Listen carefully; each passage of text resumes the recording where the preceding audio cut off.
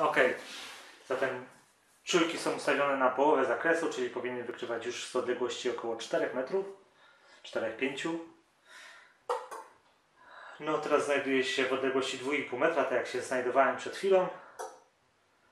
E, No i sprawdźmy, sprawdźmy czy z takiej odległości wszystkie czujki zadziałają. Ok, teraz pomacham z odległości około 2,5 metra.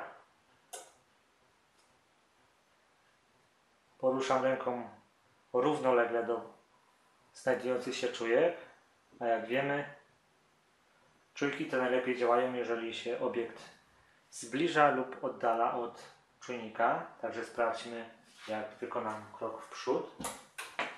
Od razu zadziałały, prawda? Także coś, coś w tym jest.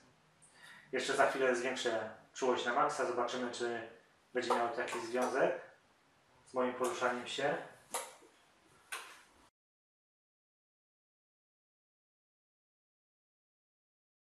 Także teraz czułość czujnika jest ustawiona na poziomie maksimum, czyli odległość wykrywania ruchu to około 8 metrów. No, czyli z dwoma, trzema metrami powinien sobie poradzić spokojnie. Widać ten czujnik CM1 bardzo jest czuły generalnie. Może ma jakoś, jak- w jakiś inny sposób ustawiony ten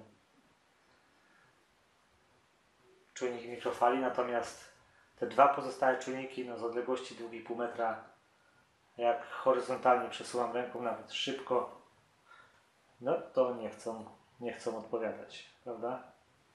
No, ten się ruszył. Jeszcze tamten. Nie bardzo.